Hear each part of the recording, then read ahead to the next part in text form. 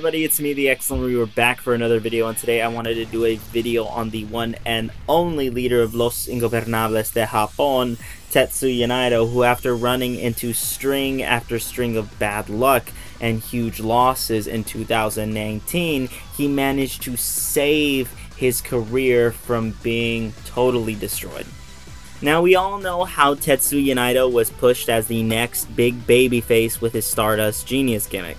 He was set to be the next Hiroshi Tanahashi when Tanahashi wasn't ready to transition out of the spotlight and he was being pushed hard as at one point he won the G1 Climax, he would main event Wrestle Kingdom as well as holding the Never Openweight title. However, Naito was getting the Roman Reigns treatment and the fans were not happy about this newfound star that New Japan was pushing. Now we all know how the rest of the story goes. Naito got pushed out of the main event scene. He left on excursion, only to come back to New Japan as a star with his brand new Tranquilo and slash LIJ gimmick. However, he would slowly gain traction and popularity as he would achieve major victory after major victory and would end up winning the IWGP Heavyweight title from Okada.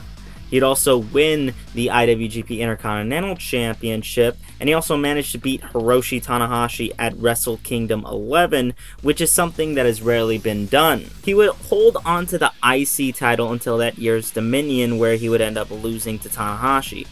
And after that amazing, amazing heel run with the title, the G1 Climax was looming ahead and Naito was announced to be participating, where he would end up going the distance and winning the 27th G1 Climax.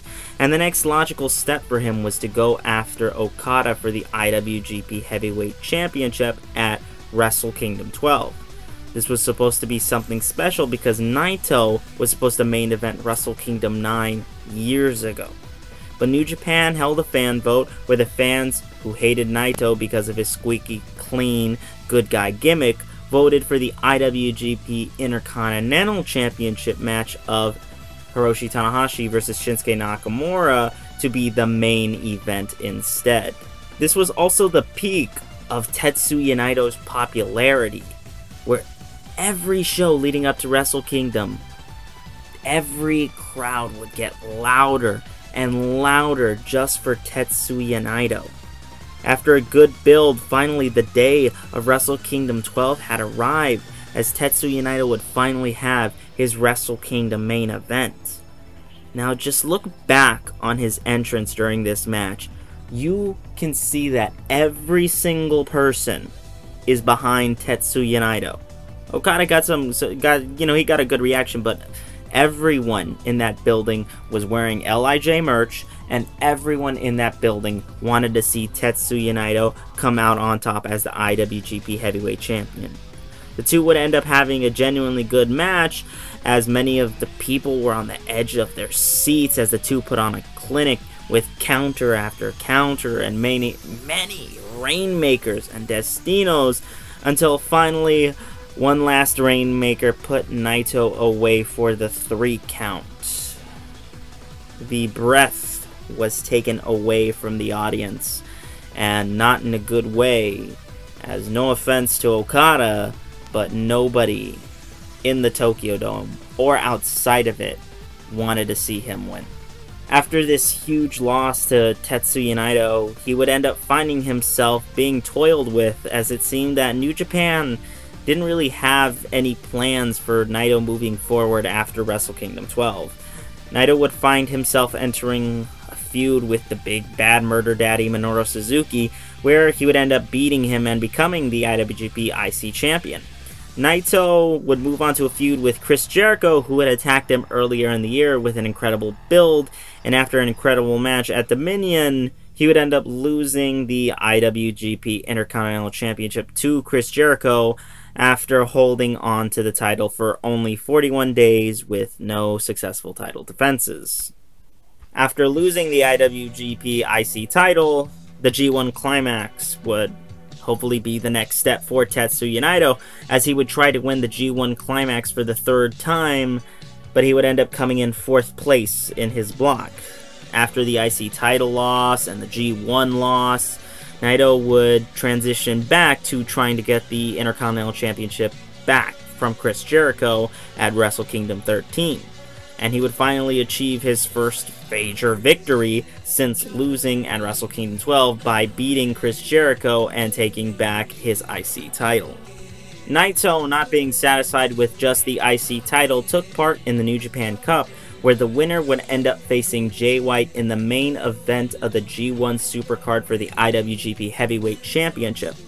However, Tetsuya Naito would end up losing in the first round against Kota Ibushi. This loss would lead to Kota Ibushi earning a IWGP Intercontinental Championship match at the same event, but unfortunately for Naito, he would end up losing the title once again. So it seemed as though whenever Tetsuya Naito held onto the IC title, he would not hold onto it for long, which is not the best way to build a champion. Tetsuya Naito would end up winning the title back from Ibushi, and unlike his last reign, he ended up holding the title for over 105 days and would actually defend the title successfully more than once. But these reigns with the IC title, they never seemed to set the world on fire like how his first title reign did. Everyone remembers his first IWGP Intercontinental title reign as it was something that was fresh and unique, something that we hadn't seen for quite some time. Tetsuya Naito's lack of care for the belt, his heel work, popularity were just off the charts. His IC title reigns after that never felt special, and they felt as though they were just giving him the title not for him to do anything with it, but just to give it to him on a whim. Naito would rack up another G1 loss, along with another IC title loss, this time to Jay White. But this loss was more for Tetsuya Naito's own benefit, because at the time Tetsuya Naito needed to get eye surgery, because apparently the muscles in his eyes were paralyzed and he couldn't focus his vision. Ironically, he would need to use his actual taunt to actually see. But it was that bad that he needed to put a lot of focus and energy just to walk to the ring, and he would need surgery. After Naito returned from his surgery, he would face Taichi, beat him, then challenge Jay White for the IC title that he had lost. But also, this is the first time that Tetsuya Naito brought up the idea of holding both the IWGP Heavyweight and the IC title at the same time. This idea was also entangled with the G1 Climax winner of that year, which was Kota Ibushi, as he was also interested in holding both titles as well as Jay White, and as he was the IC champion at the time.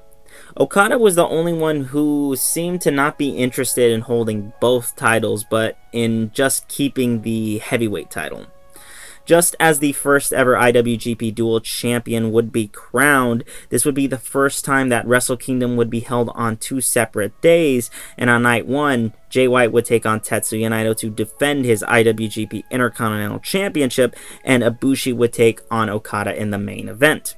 Jay White and Naito had a particularly good match, however, Jay White would not be moving on to face the winner of the main event as Tetsuya Naito would regain his Intercontinental title and move on.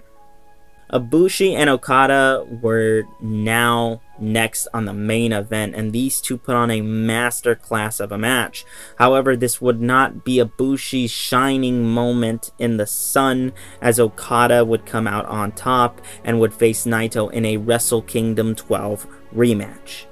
Something interesting about this match was the fact that this would be the third time that Naito and Okada would face each other at Wrestle Kingdom. And Okada has only done that with one other person, that being Hiroshi Tanahashi. This was a must-win situation for Tetsuya Naito because all of the losses that he had suffered in 2019, this would be the most devastating and it would not be one that he would be able to recover from. So he needed to right his Wrestle Kingdom 12 loss. And he would do exactly that as he would end up beating Okada and be the first person to hold the IWGP Heavyweight and Intercontinental Championship at the same time.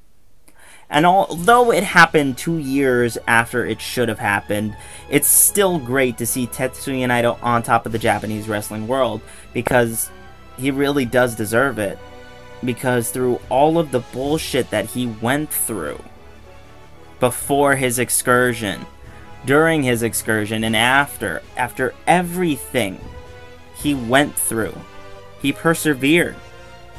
He made it through to the end and made history to become the IWGP Dual Champion. And he made both of those titles tranquilo